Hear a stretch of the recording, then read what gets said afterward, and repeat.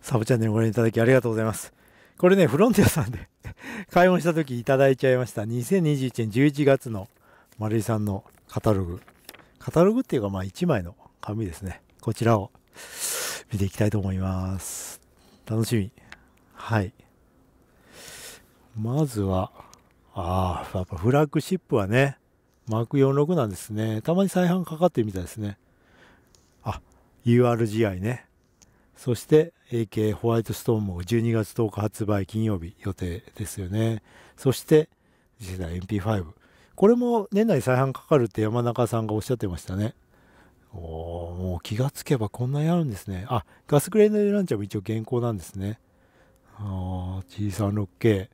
なんか、結構レビューしてるのとしてないのでね、差がありますよね。あ、電動半、電動ハイサイクルね。ですよね。お、電動ショットガンもまあ、まだ健在と。ね、トールハンマーはさすがにもう限定なんで抜けちゃってますよね。ボルト、アクションエアライフル。ね、もう爆音とか得意ないですもんね。おすごいちゃんとある。ね。これ、楽しみですよね。VSR1。おー、M ロックついてて、軽量小型で、まあ VSR とほとんど中身一緒だったらかなり性能高いでしょうしね。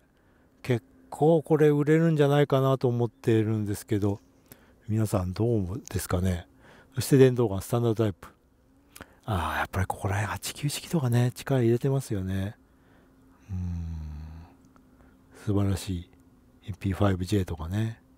まあ、ここら辺の動きはしばらくないんですかね。電動、スタンダード電動ガンね。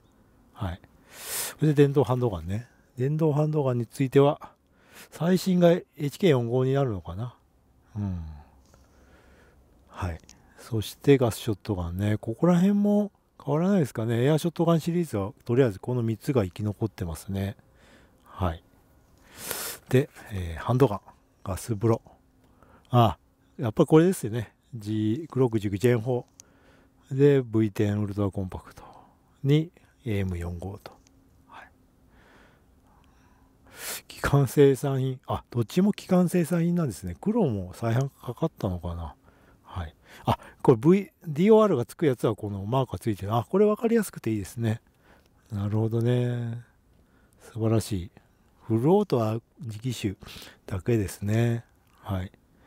固定スライドガスガン。あ、やっぱり人気だからこれだけは残ってるんですね。お、すごい。LCP2 とカーブが出てますよ。7キュッパ。お楽しみですね。これもね。うん、はい。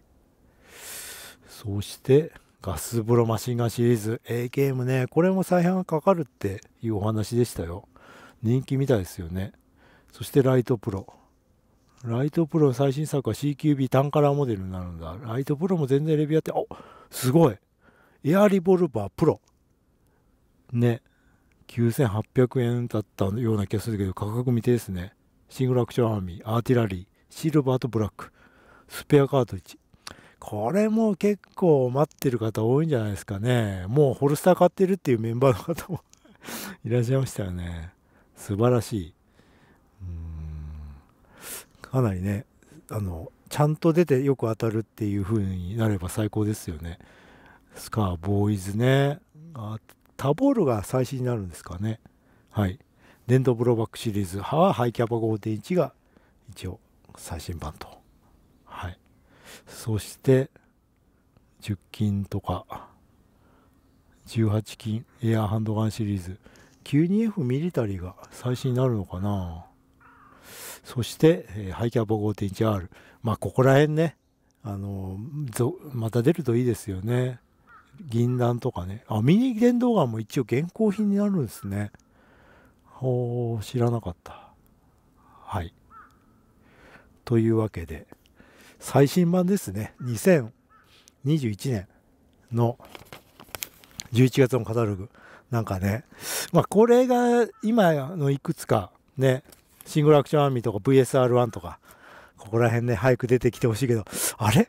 320が全然入ってないっていう、あれ、リーポアとかね、いろいろ順番的なところがね、あと、サイ、あれ？サイがないっすよね。一時期はね、10月ぐらい出るって言ってたんでしたっけ？私、見落としがあるかもしれないけど、最後はちょっと後になるかもしれないですね、320とね。うん、次なんだろう？まあ、ここら辺ですよね。URGI とか次出るとしたら。あと VSR1。VSR1 早く出てほしいですよね。うん。だからシングルアクションアーミーがもう乗ってるっていうことはもう結構これも濃厚じゃないですかね。次のやつね。逆に言うと、あ、あ、で、ああ、もう危ない。見逃してたじゃないですか。もう、もう本当ね、私は適当だから。出てますね。4キュッパー。危ない危ない。もう、コメントでまたメッセージいただくとでしたね。見逃してましたね。4キュッパー。これも楽しみですよね。あと、まあ、これも楽しみだし、なんか気がつけばね、結構楽しみなやつが多いですよね。新規のやつも増えてね。はい。まあ、寒い冬もね、まあ、エアコキとか中心にね、まあ、春を待ちつつ楽しみたいですね。はい。